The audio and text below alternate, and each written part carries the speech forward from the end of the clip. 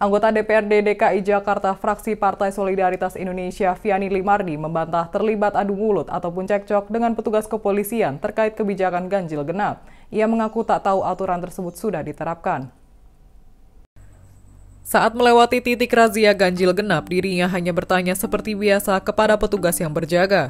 Saat itu kendaraan yang Viani tumpangi tidak bisa melewati salah satu titik aturan ganjil genap.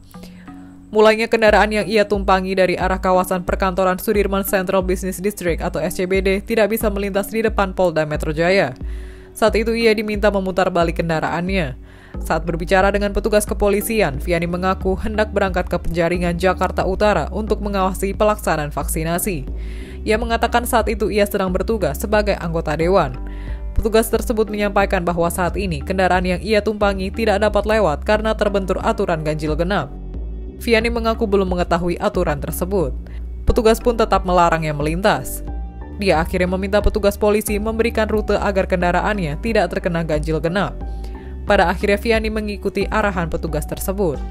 Namun ia mengaku sempat komplain dengan aturan tersebut karena kerap berganti-ganti. Viani mengaku telah mendapat teguran dari Ketua DPW PSI DKI Jakarta Michael Victor Sianipar. Ia juga telah mengklarifikasi insiden tersebut ke partai.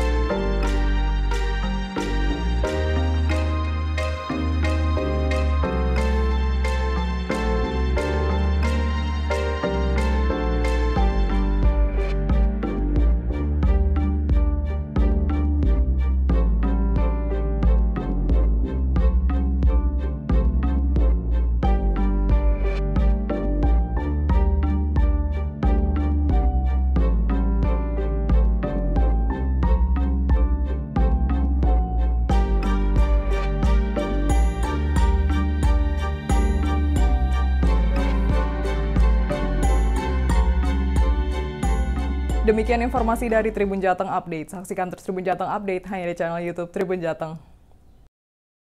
Ikuti update terbaru dari sosial media Tribun Jateng.